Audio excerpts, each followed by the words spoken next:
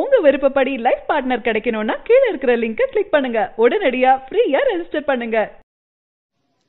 Corona காரணமாக தமிழகம் மட்டும் இல்லாமல் நாடு முழுவதுமே ஏப்ரல் பதினான்காம் தேதி வரைக்கும் ஊரடங்கு உத்தரவு விடுத்து பிரதமர் மோடி அறிவிச்சிருந்தாரு. அதனைத் தொடர்ந்து இந்தியா முழுவதுமே ஊரடங்கு பின்பற்றப்பட்டு வருகிறது.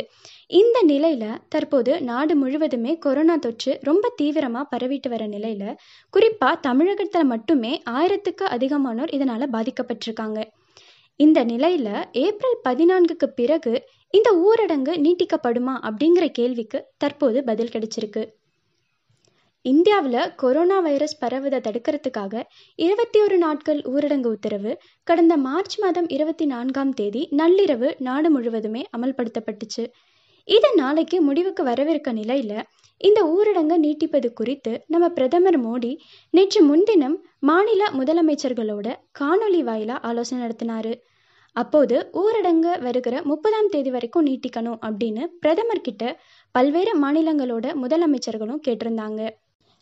இதன் தொடர்ச்சியா ஒடிசா பஞ்சாப் மகாராஷ்டிரா தெலுங்கானா கர்நாடகா மேற்கு வங்கம் ஆகிய மாநிலங்களில் ஊரடங்கு நீட்டிக்கப்படுவதா சம்பந்தப்பட்ட மாநில முதல்வர்களை தெரிவிச்சிருந்தாங்க. தமிழ்நாட்டை பொறுத்த வரைக்கும் பிரதமர் மோடி எடுக்கும் முடிவை ஏற்போம் அப்படின்னு மாநில அரசு தரப்புல தெரிவிக்கப்பட்டிருந்தது. இதற்கிடையே நாளைக்கு பிரதமர் மோடி நாட்டு மக்களிடையே உரையாற்றிருக்கிறதா அறிவிக்கப்பட்டிருக்கு. சற்று முன்பு தமிழகத்தில் ஊரடங்கு ஏப்ரல் முப்பதாம் தேதி வரைக்கும் நீட்டிக்கப்படும் அப்படின்னு முதல்வர் பழனிசாமி ஐயா உத்தரவிட்டிருந்தாங்க. இதன்படி அவர் சொல்ற அறிக்கையில அமைச்சரவை கூட்டத்தில் எடுக்கப்பட்ட முடிவின்படி ஊரடங்கு நீட்டிக்கப்பட்டிருக்கு. கொரோனா தொற்றை தடுக்கும் நோக்கில் ஏற்கனவே இருக்கும் கட்டுப்பாடுகள் தொடரும் அப்படின்னு சொல்லப்பட்டிருக்கு. தமிழ்நாடு முழுவதுமே காலை ஆறு மணி முதல் மதியம் ஒரு மணி வரை பேக்கரிகள் இயங்க தடையில்லை அப்படின்னும் பார்சல்கள் மட்டுமே வழங்கப்படும்னும் அந்த அறிக்கையில் சொல்லப்பட்டிருக்கு. கட்டிட தொழிலாளர்கள் உட்பட அனைத்து அமைப்பு சாரா தொழிலாளர்களுக்குமே இரண்டாவது முறையா நிவாரணம் வழங்கப்படும். அதாவது தொழிலாளர்களுக்கு தலா ஆயிரம் ரூபாய் வழங்கப்படும் அப்படின்னு அந்த அறிக்கையில தெரிவிச்சிருக்காங்க.